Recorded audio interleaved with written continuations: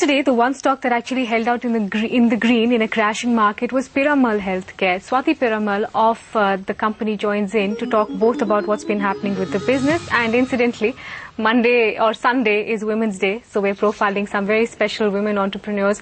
Swati, great to have you on the show. You focus very carefully on the R&D side of the business, and that's something the market has been worried about, whether or not it's getting enough money interest, whether there are growth opportunities. How, how do you see the road ahead for the R&D side of business?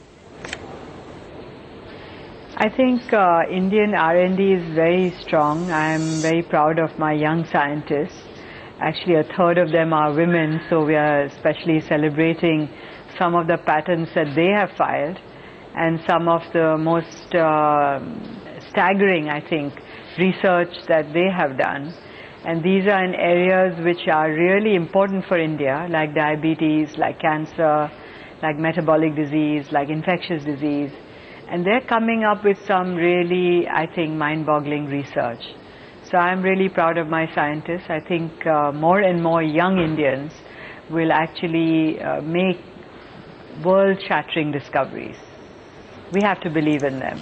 Mm. Mm. Swati, morning. What's the game plan or the roadmap or the eventual ambition that the group has with its research business? I mean, you sp spoke about the pedigree of the scientists in the team. Do you want to build this up as a big business or is it looked upon as a feeder into Piramal Healthcare or eventually will you have to ally with a large global major to take it to its logical, uh, logical end? Well, uh, you know, R&D, one, it's very risky, and two, it's quite a long-term gestation period. That, that, means it takes nearly 10 to 12 years for a new drug to be discovered. Uh, frankly, I think we are one of the leaders in the race to actually launch the first Indian molecule in the next three or four years. And this uh, could be in many different areas. It could be in cancer, it could be in diabetes, could be infectious disease, where all our molecules are moving quite well on the, uh, on the regulatory side. In fact, uh, they've just completed phase one and would be ready for phase two approval uh, in many areas. So I think the game plan is very clear. We have said this from the beginning that we want to be uh, launching a drug discovered in India for the global markets. And our real vision is to reduce the burden of disease and to make a difference to people's lives globally. And if we can do this, we can launch it in India with Indian science, with Indian costs. Uh, frankly, it would make affordable healthcare not only true for India, it would make it for the rest of the world. And I think that's a game-changing or pa new paradigm, perhaps, uh, in the pharmaceutical arena. In specific, Swati, can you talk a little bit about the oncology molecule P276 that is uh, seen as your key molecule? Yeah, that's our lead molecule. It is uh, going in trials in three countries, in the US, uh, in Europe, and in India. And in all three, we are looking at different kinds of cancers. You know, cancer is actually not one disease, it's many diseases. So we think it shows great promise in many specialized type of cancers for which today there's no cure. I'd like to mention one head and neck cancer which in India is such a huge problem as you know because of tobacco that it is uh, you know staggering how many thousands of people suffer from it. And if we can find a cure for such a cancer, I think it would change many people's lives. So we are looking at a wide, wide variety of cancers. Of course, it's a bit early to tell whether it has an impact because we only know about efficacy in phase two. But we, uh, we think that it holds great promise. Hmm. Swati, you and Ajay have spent decades building this pharmaceutical business. Uh, would you at any point consider uh, either selling your stake or getting a large strategic investor into Piramal Healthcare because that's the talk which has been doing the rounds and those talks surfaced first when India's largest pharmaceutical company, Ranbaxy, the promoters chose to sell their stakes off after building the business for many decades. Uh, I mean, what are the, what, how do the Piramals approach this business which they have built over the last many years now? You know, we are, uh, we are very passionately fond of uh, our country and our company. Uh, we have spent many years uh, building it And as we have said thrice into the Bombay Stock Exchange, that we have no intention of selling our company, that these were rumors which were unfounded. And this morning I read the same rumors for another company. So uh, that just goes to show that it is like fishing in the water. But I think there's a larger point here that Indian market is growing very well. It is doing well because I, we have a large home market and that is in fact protecting us from this global recession. And the other thing that I think is very important is to get more and more new drugs for India. And therefore both our companies together uh, can achieve that. One is our R&D arm could license it to the Indian company and achieve this big home market potential.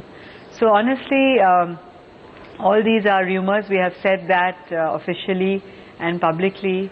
And we have also told our employees that they have nothing to worry about because we strongly believe in them and we believe in our business. Mm.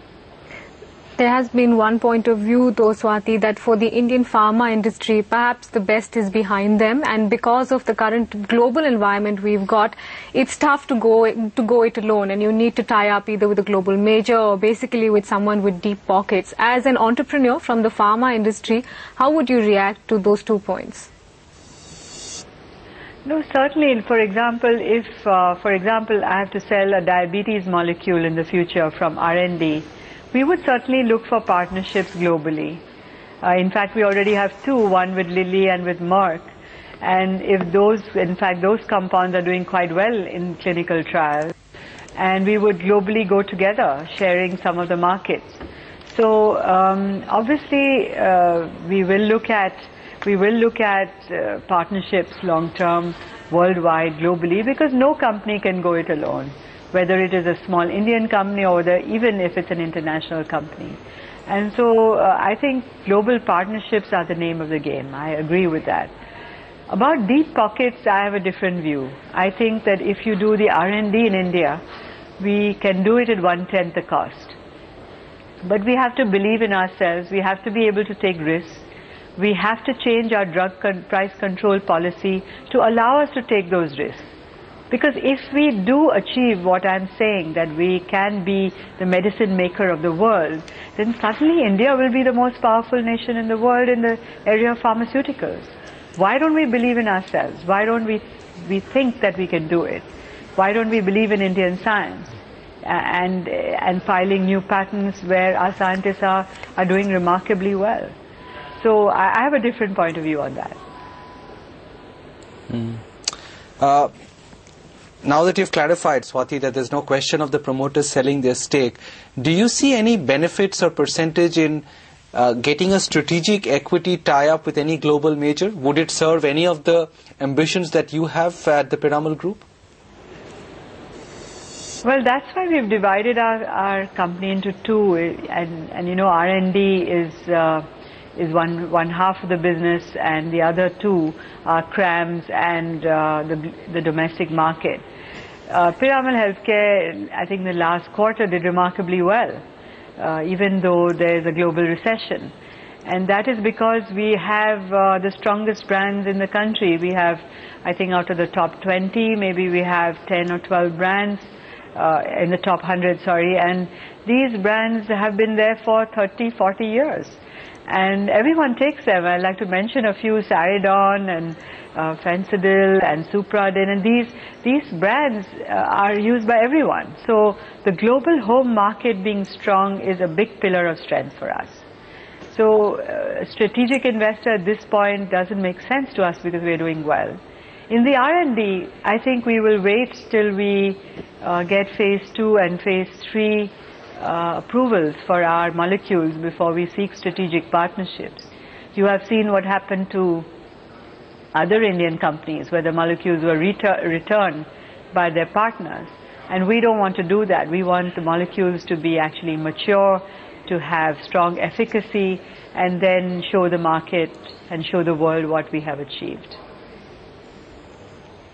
Swati, we really appreciate you take the time out for us this morning and happy Women's Day in advance to you and your team.